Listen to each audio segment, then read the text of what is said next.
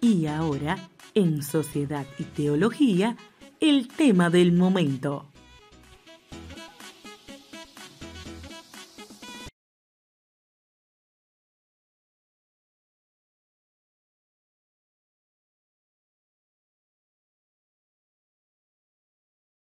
esas escuelas. Señores, en otro orden eh, tenemos los Oscars. Ahora sí. Antes, Sí. tenemos, miren, hay un tema que no hablamos ahorita antes de entrar a los Oscars y es que vamos a hablar acerca de la homosexualidad. Sí, ese es el tema Los- los- que ese, ese tenemos. es el tema. Señora, aunque ustedes no lo crean, ese es el tema estelar. Lo que pasa es que cuando hablamos, cuando hablamos de, de temas tan que, que hay, hay mucho por donde cortar, entonces uno se, se llena de, de- de efervescencia. Además, el dominicano también tiene esa tendencia a ser, eh, a ser agudo con, con- con las cosas que, que le toca hablar y más cuando hay una persona que se está, se está llevando a la contraria. Ese, ese parte Eso es lo bueno. Ese parte del Porque ese es- eso es lo que, Lincoln- eso es lo que Lincoln enriquece. Eso es lo que enriquece el, debate. claro. Lincoln dijo una vez, llevar la contraria me engrandece. Bárbaro. Sí. Eso.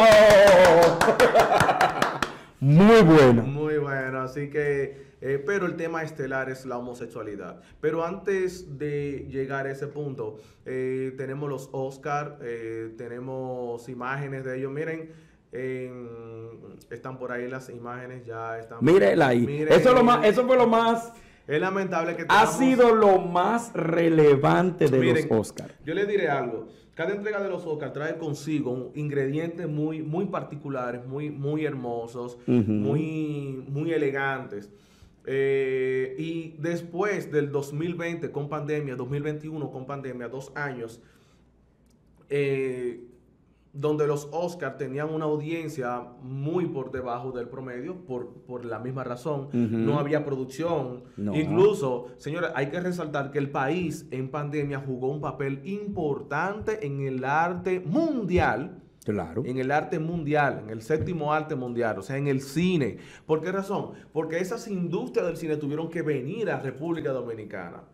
Si ustedes se dan cuenta, hay muchos, hay muchas películas que entre el 2020 y 2021 fueron filmadas aquí. Aquí en el país. Con actores y actrices de renombre. Sí. Eh, está Daniel, Daniel Radcliffe, está...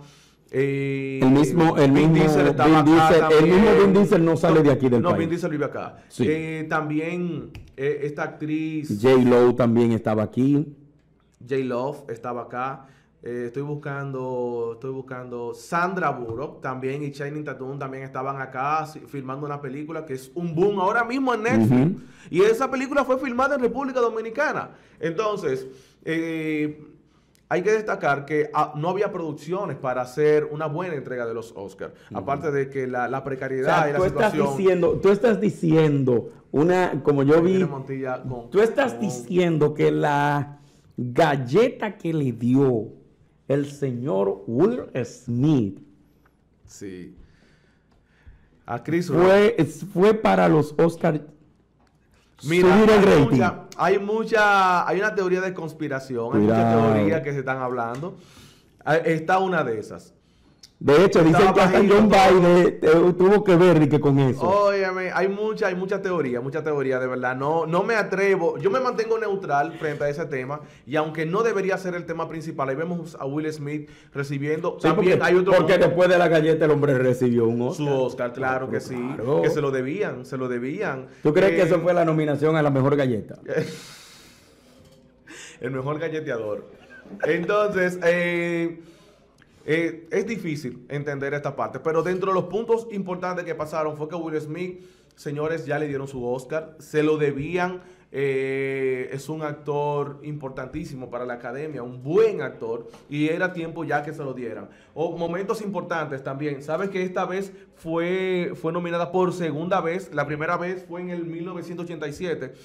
Nominaron a una persona solda al Qué Oscar. bueno, excelente. Señor, eso fue importante. La inclusión eh, en, este, en este tenor es importante. Aparte de que también el- el- el- la premiación, la entrega vino preparada para ello. También eh, vimos que... Ah, bueno, aparecieron, señores, todo el mundo conoce, y aunque ya estamos sobre el tiempo, todo el mundo conoce la...